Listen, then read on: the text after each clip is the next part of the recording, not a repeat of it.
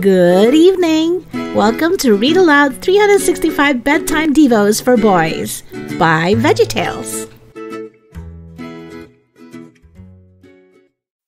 Today is day 64. It's easy to worry. Our Bible verse comes from Deuteronomy 31 8. The Lord Himself will go before you, He will be with you, He will not leave you or forget you.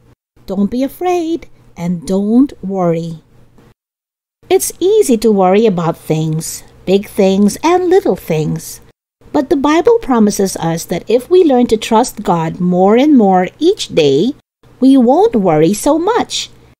Are you worried about something? If so, try doing these two things. First, ask God for His help. And second, talk things over with your parents. When you do these things, you won't worry so much. And that's good.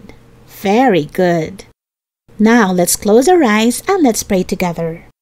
Dear Lord, when I'm discouraged or afraid, I can always talk to you and to my parents.